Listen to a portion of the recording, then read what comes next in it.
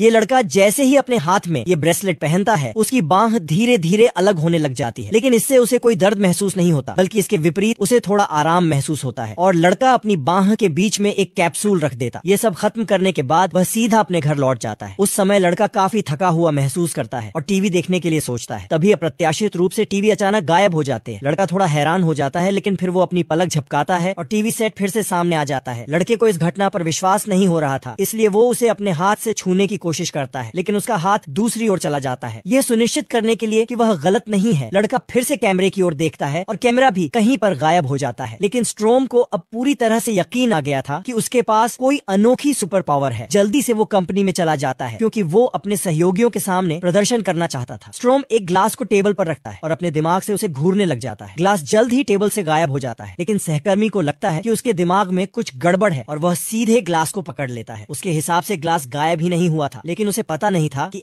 ऐसा करने से उसे बहुत बड़ी मुसीबत का सामना करना पड़ेगा